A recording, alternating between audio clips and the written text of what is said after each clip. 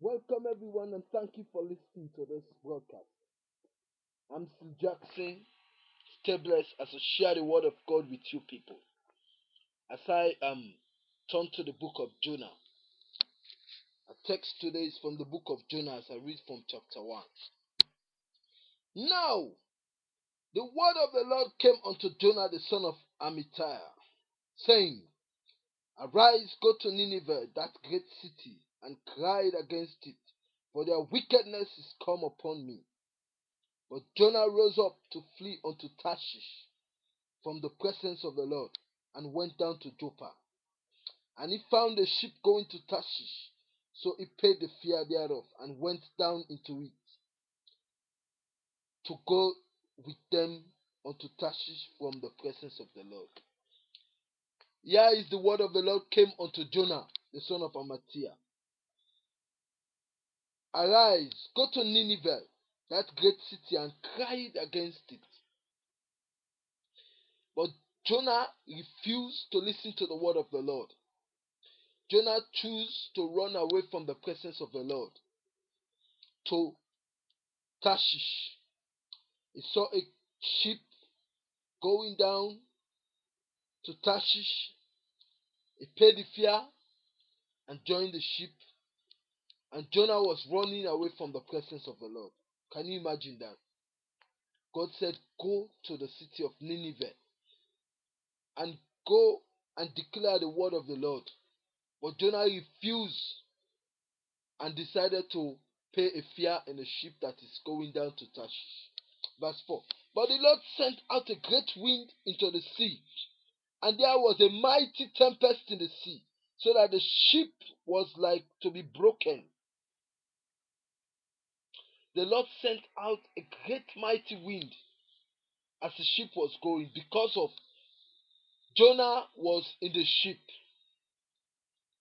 Then the mariners were afraid and cried every man unto his God and cast forth the wares that were in the ship into the sea to lighten it. They even jettisoned. You know what jettisoning is? To remove some of the, the goods from the ship, the container from the ship, to cast them into the sea so that the ship would be lightened. But Jonah was gone down into the side of the ship, and he lay and was fast asleep. Just imagine great tempest that the Lord has sent because of the sake of Jonah. He went down into the ship and was fast asleep. So the shipmaster came to him and said unto him, What meanest thou, O sleeper? Arise, call upon thy God. If so be that God will think upon us that we perish not. And they said every one to his fellow, Come and let us cast lots, that we may know for whose cause this ship is upon us. So they cast lots, and the lot fell upon Jonah. Then they said unto him, Tell us, we pray thee, for whose cause this evil is upon us? That is thine occupation. What is thine occupation? And whence comest thou? What is thy country? And of what people art thou? So it was like Jonah was a strange man in the midst of these people. They said, Where are you coming from? Why are you sleeping? Let's cast lot to see who caused this ship with this mighty tempest. And verse 9 And he said unto them, I am an Hebrew, and I fear the Lord, the God of heaven, which hath made the sea and the dry land. Then were the men exceedingly afraid, and said unto him, Why hast thou done this? For the men knew that he fled from the presence of the Lord because he had told them. He told them that he is the causer of the tempest, the wild tempest that came upon the ship, because he told them that he was running from the presence of the Lord. Then said they unto him, What shall we do unto thee, that the sea may be calm unto us? For the sea wrought and was tempestuous. And he said unto them, Take me up and cast me forth into the sea, so shall the sea be calm unto you. For I know that for my sake this great tempest is upon you. Nevertheless, the men rowed hard to bring it to the land, but they could not, for the sea wrought and was tempestuous against them. Wherefore they cried unto the Lord and said, We beseech thee, O Lord, we beseech thee, let us not perish for this man's life, and lay not upon us innocent blood, for thou, O Lord, hast done as it pleased thee.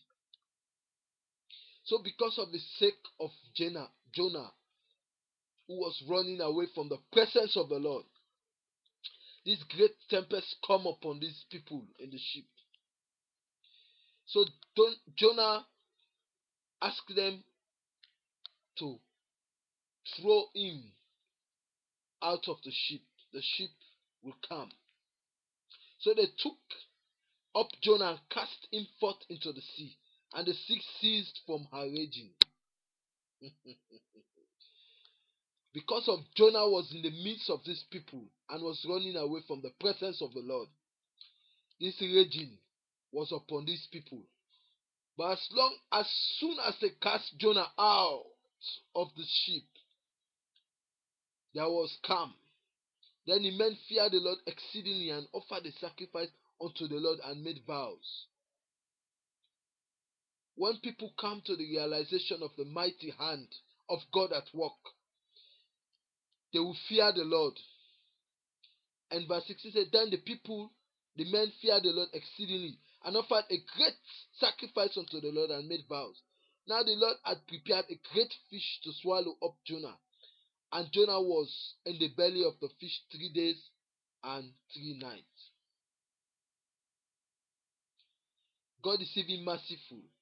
He prepared a fish to keep Jonah in the belly of the fish three days and three nights. Chapter 2, verse 1.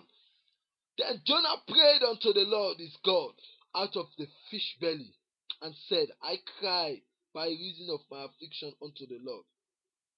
And he heard me out of the belly of hell. I cried, and thou heardest my voice. Verse 10 And the Lord spake unto the fish, and it vomited out, vomited out Jonah unto the dry land. we serve a mighty God, a God who can speak unto fish. Every situation in your life, God will speak to it, and it will vomit you out. Oh, it will vomit you out. Chapter 3 And the word of the Lord came unto Jonah the second time, saying, Arise, go unto Nineveh, that great city, and preach unto it the preachings that I bid thee. So Jonah arose and went unto Nineveh according to the word of the Lord to preach to that great city of Nineveh. This is the story of Jonah. I hope you have been blessed with the scriptures. Thank you for listening to this podcast. Let's pray. Merciful Father, I thank you for this broadcast. Thank you for giving in your word. Help us not to run away from your word when you speak unto us. Help us not to be disobedient to your word, Lord. We thank you, Lord. In Jesus' name I pray. Amen. Stay blessed. See Jack. Cheers.